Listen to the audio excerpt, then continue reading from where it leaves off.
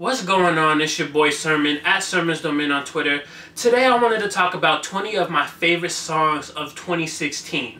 I could put another 20 on here. In fact, if this video does well and people want to see it, I might do another 20 because there were so many good songs.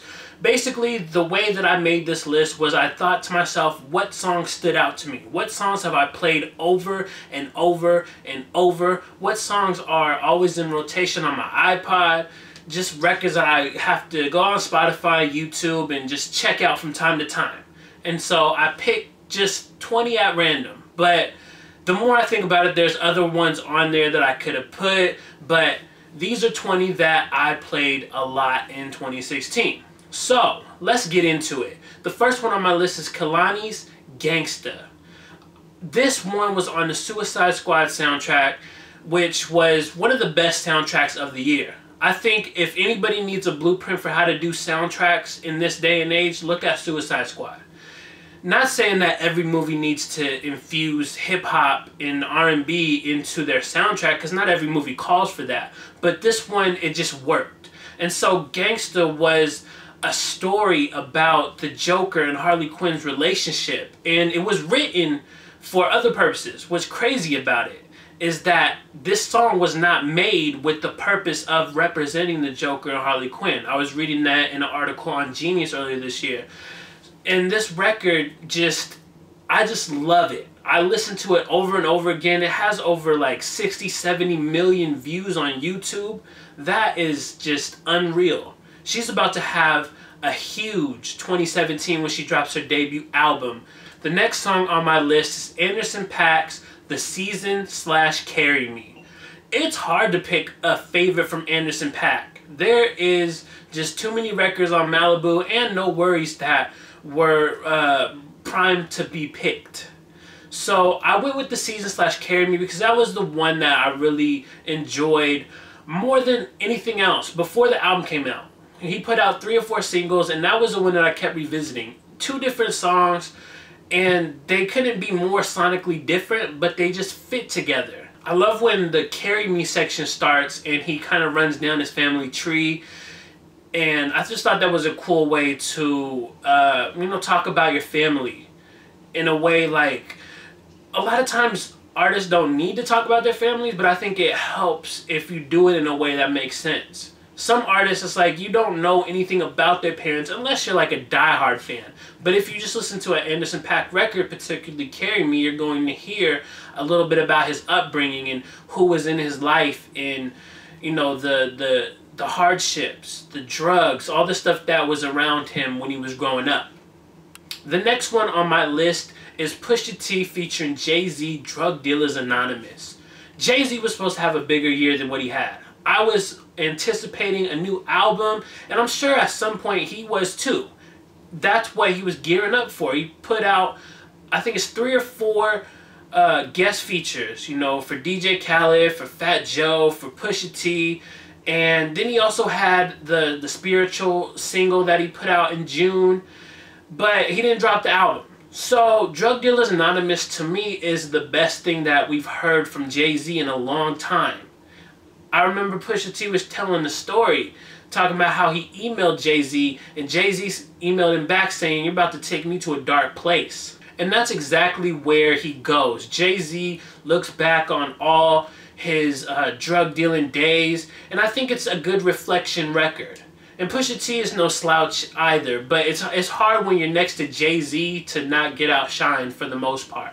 The next few songs on my list are R&B songs. And they're on here because they remind me of situations from the past. Some that I've experienced, some that I've just seen. And we're starting that off with John Legend's Love Me Now. This is a case of where the single is better than anything on the album. Love Me Now was the first single from uh, Darkness and Light, and it's the song that I still play the most. I think that John Legend is uh, just an amazing singer. And he's able to craft these songs that just, they're just amazing. That's all I can really say about it. And so Love Me Now reminded me of like being in relationships, not any one particular, just being in relationships and thinking about how it might end, it might not, like, and how you're putting your all into it right then and there. So that's what that record reminded me of. The next one on my list is 6LACK's Worst Luck. This is the breakup song. This is when you're like, okay, I just got broken up. Why do I have the worst luck with love? I love the slowness of the song. It's not one that has a flashy beat. It's mainly just 6LACK over uh, a very like uh, seldom production is how I can word that. And it's about him talking about how he's damaged. How why would you want to be with me? And it's just 6LACK talking about having the worst luck with love.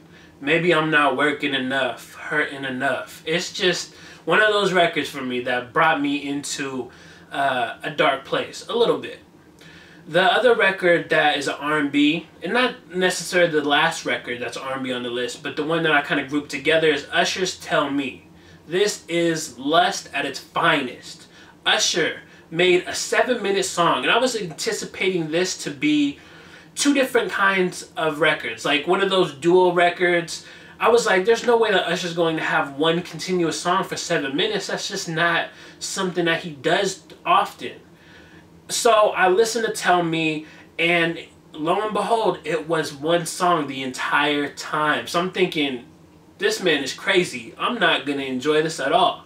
Come to find out, in seven minutes into it, I'm still like, yo, this is crazy. The bridge that he has, when you're so wet and I'm so hard, the two become one. It's like, oh my God. It sounds very funny when you just read it out loud, but when Usher sings it, it's perfect.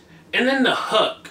I've never heard Usher really hit the high notes like he does on Tell Me. I'm not saying that he hasn't, but Tell Me is just one of those defining moments on an album that was largely forgettable for me. Hard to Love had a couple records, but Tell Me is easily the best. The next one on my list is Lloyd Banks' History. This one comes off of Halloween Havoc 3. And when I reviewed the album mixtape, um, I originally thought this was a song dedicated to the fans. Like it was a letter to the fans, but the more I listened to it, the more I understood that it's less about the fans. Partly it is, but mostly it's about hip hop. It's a letter to hip hop. You no longer need what I'm bringing, that's what you telling me. Like that is him talking to hip hop saying, I'm like one of the best, I'm doing all this, but you'd rather mess with these mumble rappers and all these one hit wonders. You don't care what I'm doing anymore.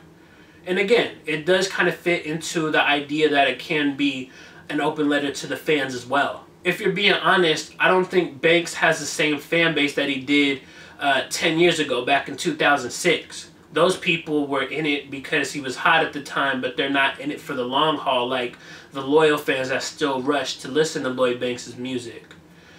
Next on my list is Jeezy featuring Bankroll Fresh All There another one of those songs that comes out before the album and outshines everything on the album. Bankroll Fresh was a huge fan of Jeezy's. Unfortunately, he didn't get to see this record come to fruition. Uh, DJ Folk was able to uh, get the vocals for the song and kind of chop it together and you really had a collaboration that sounds like there was going to be some potential. I could see them working a lot together if Bankroll was still alive. And so Bankroll really shines on this record. I'm not going to pretend to be like that person that was up on Bankroll before he passed away and, you know, say all this other stuff, but I can say that he sounded great on this record. It was catchy and the way that it's just blended together to where it's like Bankroll's rapping a couple parts and Jeezy comes in, it really does sound like they were in the studio together even if they weren't. Alright, we're about halfway through the list and we're going to kick the second half off with some Mac Miller. This one is titled Planet Goddamn featuring Njomza. This record transported me back to like the late 90s. It sounds like a late 90s R&B uh, radio type of record. Njomza is just very talented and she sounds different than she's ever sounded. And I think that's a good thing. I'm not saying that in a bad way it's uh, it's a good first impression too because a lot of people still are up on her. She's one of those artists that are still uh, you know on the rise, and I think 2017 could be big for her. But Planet Goddamn was just one of those records that Mac Miller did well on. It was one of my favorites from the Divine Feminine. What kind of list would I have if I didn't have some Travis Scott and some Kid Cudi? You put them together and you get through the late night. This song is just the, it's like the perfect example of what Kid Cudi should sound like now. Like the album he dropped, Passion Pain and Demon Slaying was okay. It had a couple records on there, but I think Through the Late Night is just perfect. I have no idea much what Kid Cudi is saying in the verses, but his hook is just so perfect. Um, the humming that he does in the beginning, the hmm, hmm, hmm, hmm, like the whole humming, I'm not going to do the whole thing, but that humming is just, it's beautiful. Kid Cudi is the perfect hummer. so, Through the Late Night had to be on my list. It was the best uh, collaboration that we've seen from the two because we did get three this year. We got one on Passion Pain and Demon Slayer Baptized in Fire, and then we had the two on uh, Birds in the Trap. So this one was my favorite, and I'm hoping that they continue to work because it seems like that Travis Scott is bringing out the best in Kid Cudi. And it could have been a fluke, but I don't think so. I think that Travis Scott knows how to bring out the best in a lot of artists. You can just see all the guest features on Birds in the Trap. What kind of Young Dolph fan would I be if I ignored the monumental year that he had? He put out several projects and he toured he had hit records, would get paid. So I had to throw on some Young Dolph on this list. And my favorite has to be In My System featuring Boosie Badazz. Um, I gotta say though, it's more for the Young Dolph verse. Boosie's verse isn't bad, but I think it's Young Dolph's verse that really kept me coming back to the song. Dolph said, when I was 12, I clocked in, I never clocked out. Like that alone makes you get on the song. I think the whole verse is just perfect. The way he starts it off talking about how his mom and dad were on crack and they, you know, had sex and then Dolph was born. He and he used a nice metaphor. He's like, you scrape the bowl, you lean the pot, you scrape the bowl, and you get Dolph. Like the the the last residue of the crack when you're making it. So I thought that was very clever. I think it was just a stellar verse from Dolph. He was able to project a lot of different scenarios, pretty much like from birth up until now is kind of what I look at it like. He's he talked about how he was born. Talked about how he was a hustling at 12 and now where he's at. Next on my list is Rae Sremmurd's Black Beatles featuring Gucci Mane. I was big on this record before it became a hit. Before the Mannequin Challenge and before it was number one on Billboard. I liked this record. I thought there was potential. Um, as someone who wasn't a Ray Streamer fan prior to SremmLife 2, I was pleasantly surprised in the album. And so there are some cuts on there. It's hard to really pick one favorite. I had to go with Black Beatles, but I could have went with Look Alive. Um, there's one at the very end that I'm blanking on the, the song just like us. I like the melody on that. But Black Beatles is the one that I just kept coming back to. Lil Wayne may have not had the best year, but he did have one of the best verses that I've heard, and that is on Quality Street Music 2's intro. The one thing that you can say about Wayne is that he always laces drama with the best that he can do. And this record right here, it sounds like some vintage uh, 2008 Best Rapper Alive Wayne. This is easily one of the best verses that he's done in like five years. There's really no bad lines on here. It's more of him being descriptive and talking about how he was in prison and, you know, kind of reflecting on that time. I just love the song. Next on my list is No Malice's Jesus Christ. No Malice is an artist who is kind of finding his solo footing. I can't say that I was a big fan of his 2013 debut album, solo debut album at least. But I think with Jesus Christ, it gives me hope that he's able to find his stride. Because this song is pretty much like vintage Clipse. It's more reflective than anything, and I think that is important for No Malice. He doesn't want to make music that I think it's hard to like to understand because I think at sometimes he doesn't want to make anything doing that deals with the past, but you can't really escape that. And to kind of reinvent yourself is tough. So I think he's finding his footing with Jesus Christ. Now let's take a trip to Chicago with Montana of 300s, fighting demons, dropping jewels. Fire in the Church, his highly anticipated debut album, finally arrived back in May, towards the end of May. And this was an immediate standout. It's five minutes of Montana just dropping some jewels. And he's also fighting demons, like the title says. It's like, uh, it's a perfect mixture of the two he says all men every man dies but not every man lives and like there's just a lot of food for thought on this record and it was one that came up in conversation when i had started doing this list and now we're to take a trip to california the west coast with some kendrick lamar untitled 02 this song was the best on Untitled Unmastered to me because it's aggressive Kendrick. I like aggressive Kendrick. He is just going in. He's talk about you mess with top, you get killed. TDE, the Mafia of the West. He just really showed a side that he hasn't shown for a while. Kendrick can be the best rapper out, but that's not his idea. That's not his goals. He doesn't want to do that. So Untitled 02 was just uh, a refresher for me and for a lot of people that, hey, Kendrick can still rap and he'll still go in, so don't tempt him. Now we're winding down to the final three. I had to at least put one Kanye song on this list. The Life of Pablo is not in my top 10 albums of 2016, nor will it be. I don't even know if it's in the top 20, but I can say that Real Friends was one of the best songs that Kanye's done in a long time. It was so honest, open. I like that it's based on a real life scenario. It just helps to add like the authenticity to it. Him talking about how his cousin stole a laptop and tried to blackmail him because there was a sex tape on it.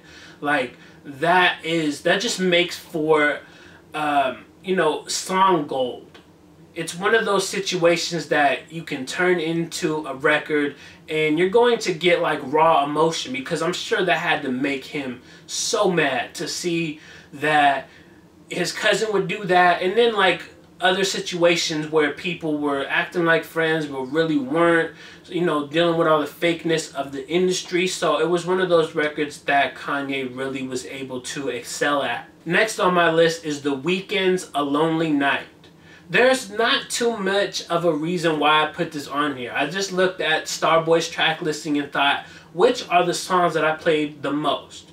It was between A Lonely Night, Die For You, and Secrets. And so, realistically, interchange those three. You can put any of those on my list and they would fit. I think The Weeknd made a good album, and those are the songs that I just enjoyed the most for melodies, for the the production, for the fact that it gave me a bit of nostalgia, referring to "Die for You." So you could just throw those three, kind of lump them together, I guess. The final song on my list is Kid Cudi's "Goodbye." Unless you were really checking for Kid Cudi throughout the year, you might have missed this gem. This one didn't end up making the album, and I understand why. It has a sample from the movie Juice, and I think there's another sample in it as well. And as an artist, sometimes you don't want to compromise. I know it would kind of be hard to get stuff cleared. Again, I don't actually I don't really know the the process behind sampling a movie. I think I would assume that you have to get it cleared. But if not, then I guess Kid Cudi just missed out on putting a good song on the list. This was strong from Kid Cudi because he was so focused. And he sounded like he was a little bit psychotic. Um, you know, like kind of like the earlier days, just going through it. There was a lot on his mind and he got it off his chest on this record. So, Goodbye had to make the list. So, those are 20 of my favorite songs of 2016. The video is way longer than I expected, but Let me know what you think about my list. Uh, tell me some of your favorite songs in the comment section below. Do you want me to do 20 more? Because I will. If you guys are into this video, into like the idea, I will do another 20. Um, if not, let me know what else you would like to see. And as far as like a year-end 2016 list, I did my albums, I did songs. Uh, you know, what do you want to see next? Let me know in the comment section below. And then like the video, subscribe to the channel if you're not already, share the video, follow me on Twitter at Sermons Domain, and as always, thank you for your time. I appreciate you for watching, and until next time, peace.